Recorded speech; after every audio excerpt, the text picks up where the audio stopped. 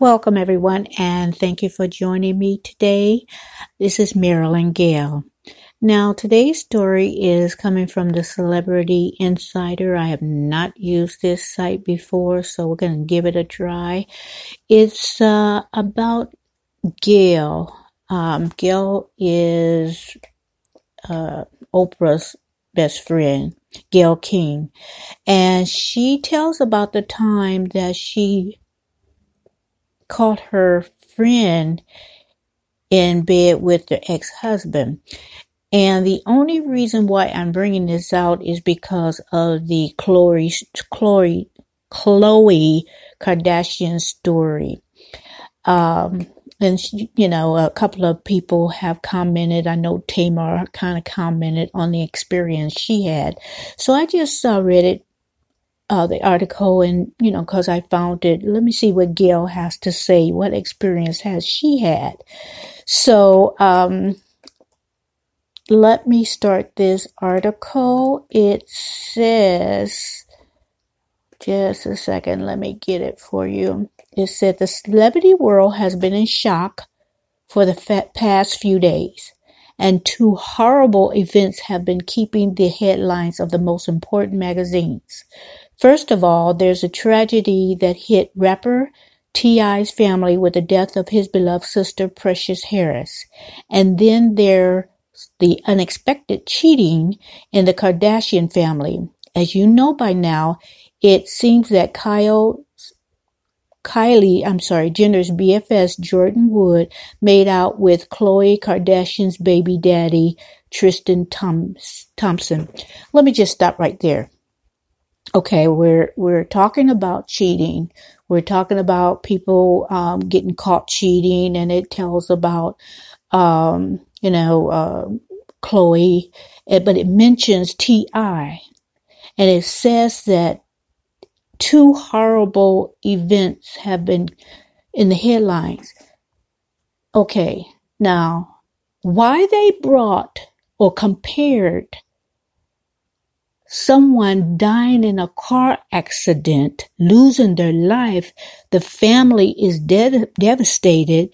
Uh, people are saying T.I. is inconsolable, and then compare it cheating uh, Tristan and Khloe's incident as far as cheating. I don't get why they did that. That's I don't even want to say that's apples and oranges because you don't compare someone losing their life uh, and was was uh, you know unresponsive in the hospital and ICU for for a while and then compare it to the Kardashians because Khloe's gonna be all right.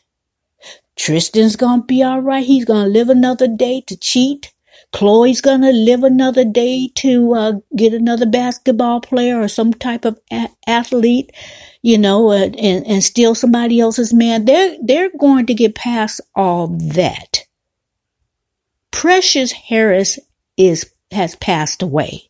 So I just want to get off, uh, get, get that off my chest to, to see why either those two were compared. Cause it, okay, let me finish the article. Uh, and even if it has been reported that Khloe dumped him a few days ago before this happened is still wrong, and Jordyn broke an essential girl code. Come on, let's get to let's get to Gayle King. Here we go. This event might have triggered bad memories for a lot of people who have been cheated throughout their life. One of them seems to be Gayle King, who just opened up about an experience that completely shaped how she views friendships, the Shade Room notes. TSR writes that granted her and her bestie, hashtag Oprah, can laugh at the situation now, but at the time I'm sure it was heartbreaking. In a web series called hashtag The OG Chronicles, Gayle spoke about her ex-husband cheating on her with a friend back in the 1990s. The CBS anchor said she basically walked in on her friend and husband at the time in bed together. But catch this tea. This friend had the nerve to tell Gayle, I never liked you, when she got caught caught. Someone tells Gayle to stick with Oprah, Oprah Gayle in life. You're blessed to find one authentic, genuine friend. That's true. Another commenter said Oprah would never do such things and Gayle would never do such things. We broke people need another topic to talk about. Shaking my head. Someone else noted that this is not a good Black History Month for my Black people. February is a sad and the worst month of all. Sorry. I don't I don't know if I read that right, but anyway. And it just goes, the article just goes on, people just commenting. And, uh, but uh, just to go back to Gayle for a minute, when she called her, the girl said, I didn't like you anyway. Now, I'm just, I'm going to make this video short, uh, only because it, it's not much to the article anyway, but I just want to say one thing. Sometimes, a lot of times, do not have your girlfriends around your man, please. Even if you think she's a good guy, girl, uh, he's a good guy, don't throw them into situations a lot. Don't bring, don't, don't, you know, and you would think, okay, this is my best friend. I can trust her. Or this is my man. I can trust him. Famous last words.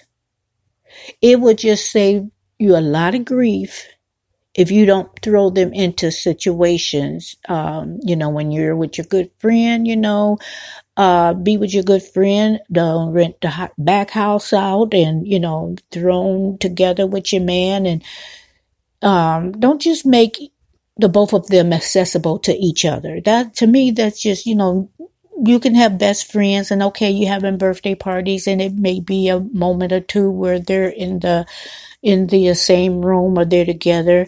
But and and some people would probably say, well, you shouldn't have that girlfriend and you shouldn't have that guy if you can't trust her. It's not about trust. Sometimes you got to do, you know, just just um, make some common sense decisions where how well do you know anyone, you know? So uh, Kylie's friend was supposed to be her best friends, and you know, part of the family lived in in Kylie's back house, so you would think nothing would happen. And I, I don't even know if this uh, particular story about Gayle, like I said, this is my first time using Celebrity Insider. Um, usually, Gayle and Oprah are very transparent about their lives. And I'm not saying that Gayle didn't say this because, but I had not heard this, um, you know, listening to Gayle and listening to Oprah, you know, tell a certain incidents in their life. I had not heard any of them, you know, ever mention that. And not saying she didn't, I just didn't hear it. So I just stand with my opinion is kind of, uh, you know, have your girlfriends where you do your girl stuff, you know, and and don't always throw your your good girlfriend and your man together. And that's just my, my opinion. You guys might have a different opinion, and I'd like to hear it. I just think it doesn't, um, you know, you you just it, it, I hear so many stories about good friends messing with their good friend's man. So evidently there is a problem with it. So anyway, I'm going to end the video right there. Thank you for listening and joining me. Subscribe if you haven't already. Click that notification bell and I'll be back to give you another story and have a good rest of the week. Thank you for joining me. Good night.